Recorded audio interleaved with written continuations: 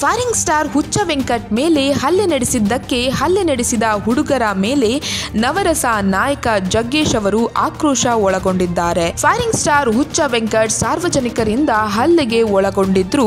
ಇದೀಗ ಆ video social ಮೀಡಿಯಾದಲ್ಲಿ ಬಹಳ ವೈರಲ್ ಆಗ್ತಿದ್ದು, ಸ್ಯಾಂಡಲ್ವುಡ್ ಸ್ಟಾರ್ಗಳು ಕೂಡ ಇದರ ಬಗ್ಗೆ ಧ್ವನಿ ಎತ್ತಿದ್ದಾರೆ. ವೆಂಕಟ್ ಅವರು ಮಾನಸಿಕ ಸ್ಥಿಮಿತತೆ ಕಳೆದುಕೊಂಡಿದ್ದಾರೆ ಎನ್ನುವುದು ತಿಳಿದು ಕೆಲವರು ಅವರನ್ನು ಉದ್ರೇಕಿಸುವ ಕಾರ್ಯ ಮಾಡುತ್ತಿದ್ದಾರೆ. ಕೆಲವರು ಸೆಲ್ಫಿಗಾಗಿ ಅವರೊಂದಿಗೆ ತಮಾಷೆ ಮಾಡುತ್ತಿದ್ದಾರೆ.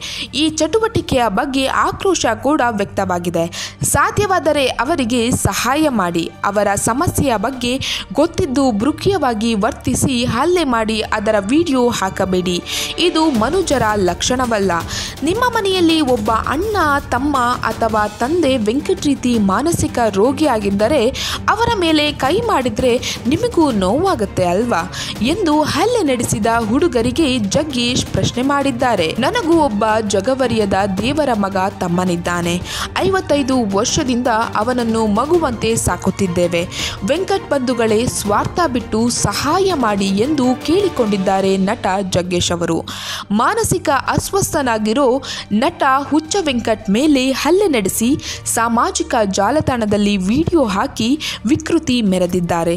ದಯಮಾಡಿ ಸಂಬಂಧ ಆರಕ್ಷಕ ಠಾಣೆ, ಇದು ನನ್ನ ದೂರು ಎಂದು ಭಾವಿಸಿ ಸೂಕ್ತ ಕ್ರಮ ತೆಗೆದುಕೊಳ್ಳಬೇಕು ಎಂದು ಸಿಎಂ ಕರ್ನಾಟಕ ಹಾಗೂ ಬೆಂಗಳೂರು ಸಿಟಿ ಪೊಲೀಸರಿಗೆ ಟ್ಯಾಗ್ ಮಾಡಿ ವಿನಂತಿಸಿಕೊಂಡಿದ್ದಾರೆ ಜಗ್ಗೇಶ್ ಅವರು. ಈಗ ಮತ್ತೊಬ್ಬ ನಟ ದುನಿಯಾ ವಿಜಯ್ ಈ ಘಟನೆ ಬಗ್ಗೆ ದನಿ ಎತ್ತಿದ್ದಾರೆ ಆತನಿಗೆ ಹಲ್ಲೆಗೈದು ವಿಡಿಯೋ ಮಾಡುವವರಲ್ಲಿ ಕೂಡ ಒಂದು ಮನವಿ.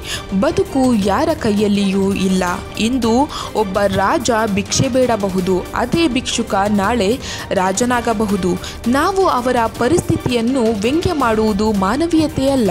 ಹಾಗಾಗಿ ಮಾನಸಿಕ ಸ್ಥಿಮಿತತೆ ಕಳೆದುಕೊಂಡಿರುವ ವ್ಯಕ್ತಿಯಲ್ಲಿ ದಯವಿಟ್ಟು ಯಾರು ಹಲ್ಲೆ ಮಾಡಬೇಡಿ. ನಾನು ಕಳಕಳಿಯಿಂದ ವಿನಂತಿಸಿಕೊಳ್ಳುತ್ತೇನೆ ಎಂದು ದುನಿಯಾ ವಿಜಯ್ ಹೇಳಿದ್ದಾರೆ.